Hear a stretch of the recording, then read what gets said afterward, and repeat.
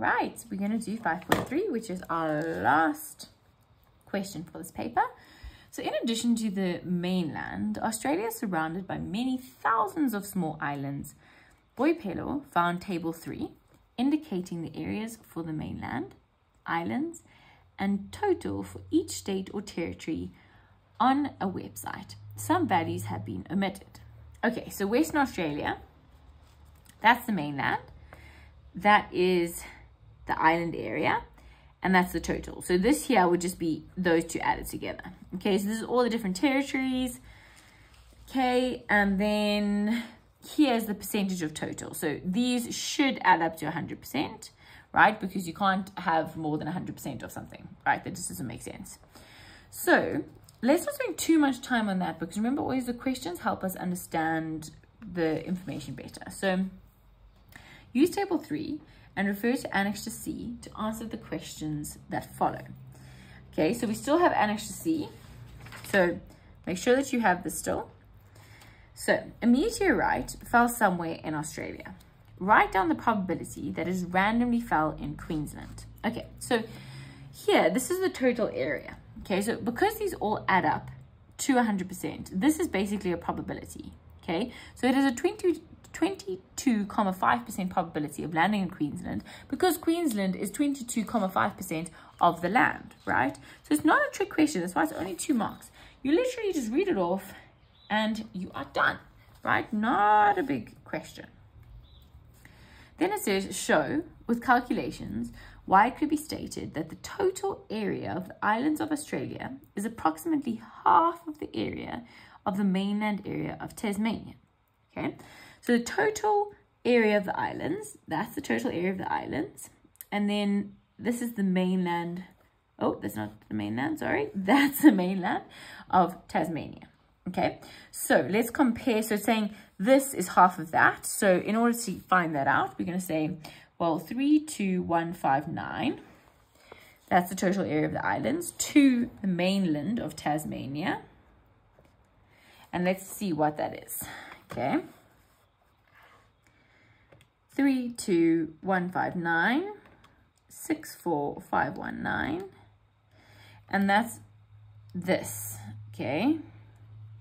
So the question said show with calculations why it is approximately half. Now this is if you round it off to one decimal place is 0 comma 5 and therefore that's the answer right? It's approximately half and so there we've answered our question, right? So the biggest thing is just reading the question, putting in these numbers and making sure that it makes sense. Okay, so we sorted there. We're on to our last question, which is two subparts. So let's just read those carefully.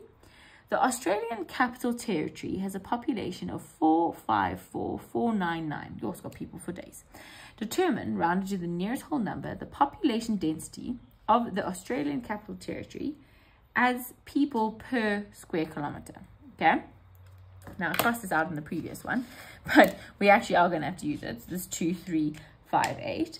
So we're going to say the number of people, okay, so the number of people, okay, per kilometer. So we're going to put that in, the 2358. So basically, this is people, and that's kilometers, and our answer will then be people per kilometer, okay?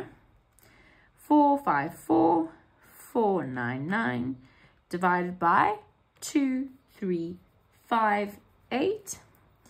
And it gives me 192, comma 7476, dot, dot, dot.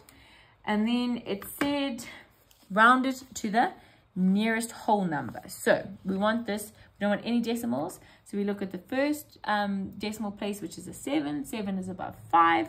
So we're rounding it off to 193 people per kilometer squared. Okay, so that wasn't too difficult. Again, just reading, nothing too tricky. Last question of this paper. Give a suitable reason with calculations why this area is omitted from the percentage calculation in the table. So we're looking at the Australian Capital Territory. So let's look there. So it's 2358. So it's already looking quite small. Do you agree with me? It's quite small compared to the total, right? You see the total area there? That's 7688. Why is it omitted there? That's what it's saying. Well, let's figure it out. So we can actually say, okay, well, let's work out what the percentage would be and see if that tells us something, okay? So basically said the territory divided by the total area, okay? So let's pop that in and see what we get. 2358 over 7688 220 okay um, and then we want a percentage right? That's quite useful to put a percentage. Because it said the question specifically said why this error is omitted from the percentages. So let's see what the percentage is. So the percentage is this okay now it's very small right so the reason it's not included because it rounds off to zero, right? Because do you see here that they rounded everything off to two decimal places? Now, if I rounded this off to two decimal places, it's equivalent to 0%. And therefore, we just say rounds off to zero. And that's why it's not included, because we don't really include zero values, right? And that's why it's important to actually go through the exercise um, so just to note, I also times by 100, just so that you fully understand what I've done. Okay, so that's us done with this video, but also us done with this paper. I hope you um, learned something and good luck for your exam.